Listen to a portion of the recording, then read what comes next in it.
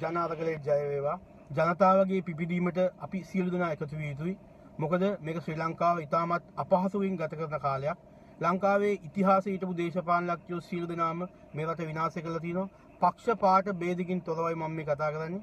ඇත්තටම අද වෙනකොට ලංකාව ඉතාම ඉතාම පල්ලෙහා මට්ටමට වටලා තියෙන්නේ මේ ආර්ථිකය ඉතාමත් පල්ලෙහාට වටලා තියෙන මේ රටේ දේශපාලනඥයෝ. ඉතින් ඔවුන් මේකට වග කියන්න ඕනේ.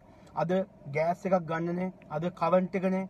අද බඩු මිල නහුතට නැගලා අද කිසිම දෙයක් අපිට සල්ලි දුන්නත් සමාවත් දේවල් ගන්න බෑ. මේ රට පත් කරේ මේ රටේ දේශපාලනඥයෝ. ඉතින් ඔවුන් ඔවුන් මේ කරපු අසාධාරණ විරුද්ධව අද ජනතාව නැගිටලා ඉන්නවා. ඒක ඉතාමත් හොඳ කාරණාවක්.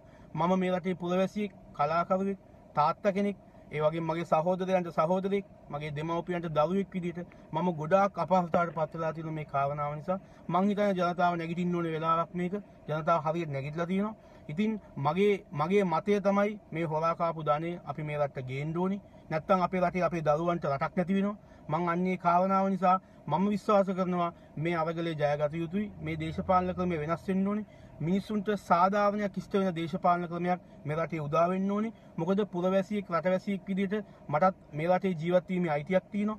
මගේ දරුවන්ටත් මේ රටේ ජීවත් වීමේ අයිතියක් තියෙනවා. අපි හම්බ කරන අමාරුවෙන් හම්බ කරන ධනය අපි අපි අපිට ඒක වියදමටවත් අපිට මදි වෙනවා නම් අපි එහෙම රටක ජීවත් වෙලා වැඩක් නැහැ. මගේ මතය තමයි ජනතාවගේ මේ පිපිදීම ඉතාමත් වටින කාරණාවක්. මං හිතන්නේ මේට විරුද්ධව පුළුවන් තරම් අපි අවග්ගල කරලා කවද හෝ මේ ජයග්‍රහණය අපි ලබන්න ඕනේ. ජය වේවා.